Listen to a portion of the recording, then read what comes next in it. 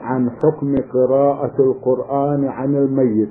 في أي يوم من الأيام؟ كيوم الجمعة مثلا أقرأ سورة البقرة وأقول هذه إلى روح فلان فهل يصح ذلك؟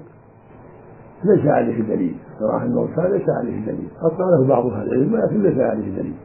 تركه أولى تدعو للميت. في الدعوة الطيبة. تصدق عنه. بالمال تحج عنه. تعتمد عنه. كل هذا طيب.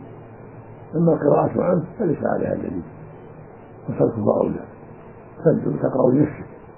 لأخيك الميت أو لأبيك أو غيره. اللهم اغفر له. اللهم ارحمه.